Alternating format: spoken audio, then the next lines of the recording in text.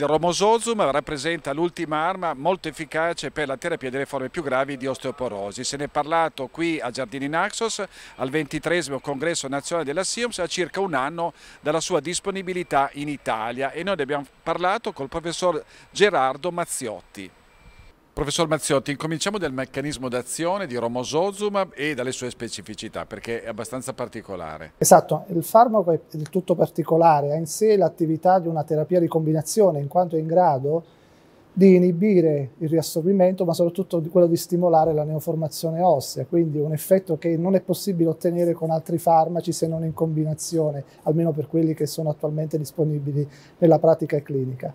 L'altra peculiarità del farmaco è quella di, dove, di avere un'azione di stimolazione sulla neoformazione ossea attraverso un meccanismo cosiddetto modeling based, come gli anglosassoni ci insegnano, vale a dire una stimolazione del, del, del, modellamento scheletrico che è diverso rispetto al rimodellamento, è una situazione di stimolazione della neoformazione a discapito del riassorbimento e il 60% di questa attività è legata alla stimolazione della neoformazione ossea del, model, del modeling.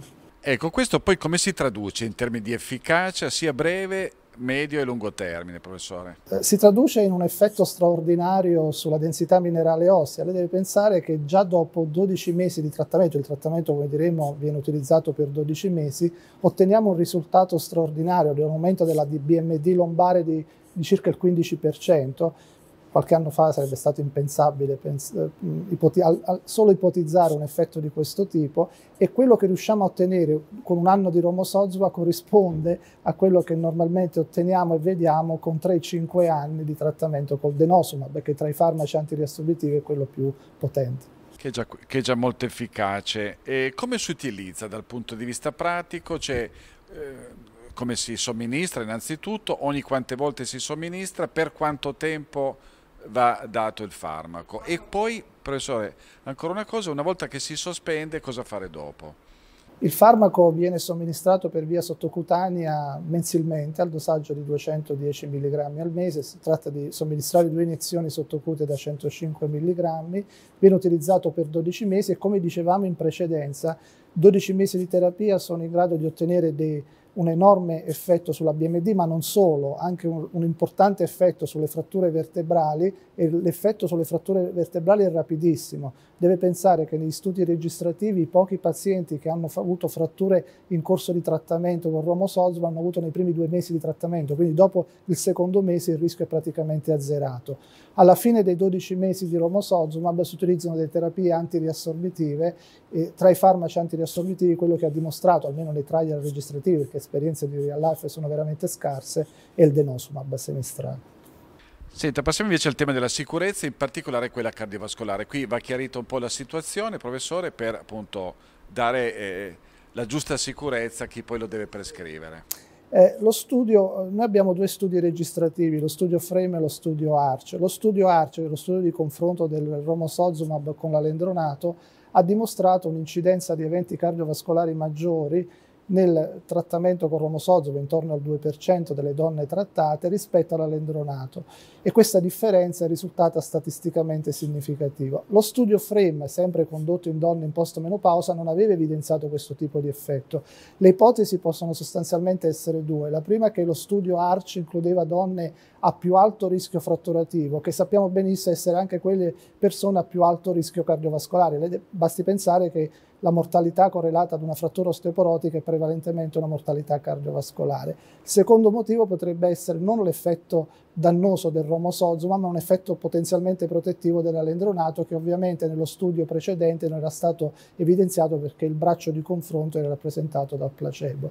Teniamo però conto del fatto che se noi consideriamo lo studio ARCE, le sole 50 donne che avevano avuto un evento cardiovascolare erano prevalentemente donne che già avevano in precedenza un elevato rischio cardiovascolare, 46 su 50 erano donne che già avevano una patologia cardiaca. Ad oggi quindi quello che normalmente facciamo, selezioniamo le donne da trattare, le donne che hanno avuto un evento cardiovascolare maggiore, ictus o infarto, purtroppo non possiamo prescrivere la terapia. Per le altre donne cerchiamo di modulare, valutare ma anche modulare il rischio cardiovascolare perché sappiamo che il rischio cardiovascolare va trattato a prescindere dal trattamento con romosozuma perché rimane comunque un fattore di rischio di mortalità nel soggetto affetto da osteoporosi. Quindi controindicazione assoluta in chi ha già avuto un evento grave e una certa attenzione nel selezionare gli esatto. altri pazienti. È così, professore? Assolutamente sì.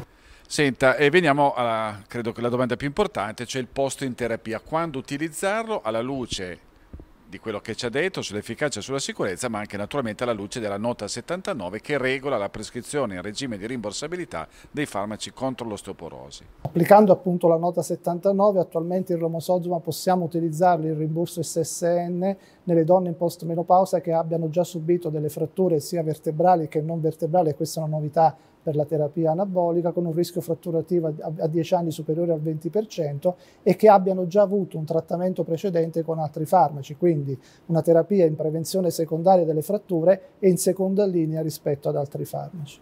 Siete professore, i farmaci per l'osteoporosi ce n'erano già tanti, c'erano tutti gli antiassorbitivi, eh, c'è almeno per adesso un farmaco anabolico, poi forse se ne aggiungerà un secondo e poi c'è il romosozoma che ha tutti e due gli effetti. Ecco, ehm, aggiunge veramente qualche cosa alla terapia dell'osteoporosi, professore? Assolutamente sì, perché la terapia dell'osteoporosi oggi sappiamo che non essere la terapia legata a un singolo farmaco, ma una strategia terapeutica che prevede una sequenzialità delle, dei farmaci sto parlando soprattutto per quello che concerne la donna o anche l'uomo, perché sicuramente questo farmaco verrà approvato in futuro anche per l'uomo, con un'osteoporosi severa, quindi con la necessità di essere trattata a lungo termine e questo non può essere assolutamente effettuato con un singolo farmaco. Ecco, perché ricordiamolo, eh, le fratture da fragilità che appunto questo farmaco consente di prevenire in larga misura sono un, un, problema enorme dal punto di vista clinico, dal punto di vista economico e dal punto di vista sociale. Sì. Così, Attualmente se valutiamo la spesa sanitaria che viene eh, messa a disposizione per il trattamento dell'osteoporosi, oltre il 90% della spesa, ahimè, è ancora eh, utilizzata per trattare le complicanze dell'osteoporosi, non certamente la prevenzione delle fratture. Quindi insomma prevenire è una cosa importante. Assolutamente sì.